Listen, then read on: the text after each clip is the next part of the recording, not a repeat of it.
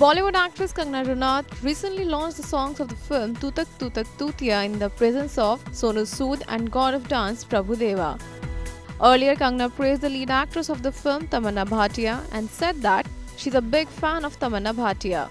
Now, during an interview, when Tamannaah asked about her comments, then see how she replied. I feel really, really um, touched. And I, first of all, I am a huge fan of Kangana's.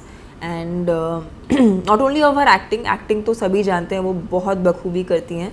But even as as a lady I think she is very very she somebody who's really worked on her self and today she is an inspiration to a lot of women from a fashion sense to you know the way she carries her self to the way she is strong and and outspoken I think that मैं हमेशा उनके interviews देखती हूँ because मुझे उनके interviews देखना पसंद है, उनका पॉइंट ऑफ़ व्यू सुनना पसंद है।